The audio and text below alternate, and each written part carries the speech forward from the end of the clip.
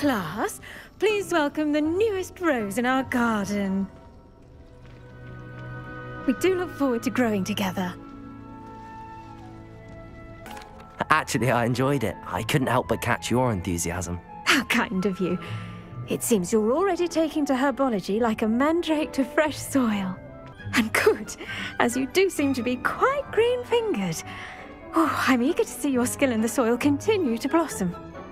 Magical plants have so much to offer. I'm eager to learn more. I'm glad. Herbology is a bounteous subject. Tend to your garden, and it will tend to you. Huh. Well, I suppose that's everything. Do come by for a chat sometime. I so enjoy checking in with my new students.